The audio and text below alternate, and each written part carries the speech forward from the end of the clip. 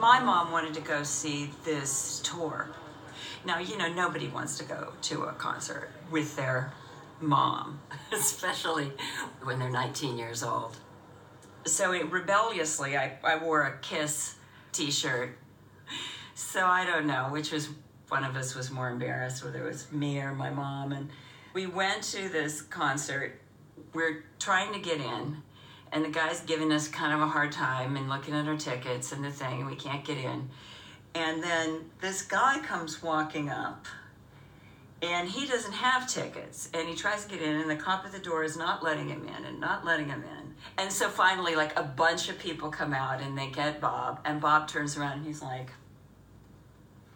and I'm just like this. And my mom's like, come on. And I don't want to come on, but my mother pushes us through. And so we go in with Bob. And um, Bob turned around and he saw my shirt. And he was like, do you like them?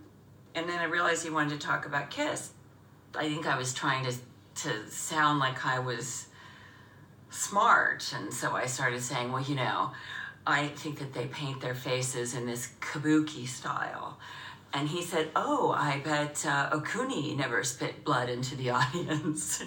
and I was like, Okuni? And he's like, Izumo no Okuni. Oh, and that's, you know, it's one of the guys who started uh, Kabuki.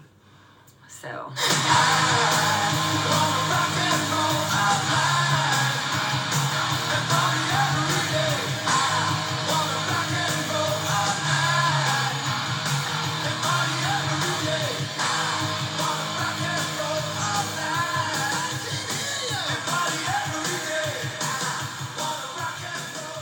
Rivera was some piece of work. Most people kind of stay away from Scarlet, but uh, not me.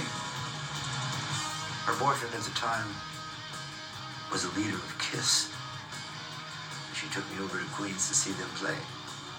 They played in a small club. They had face paint on, and I thought that was kind of interesting. I kind of filed that away somewhere.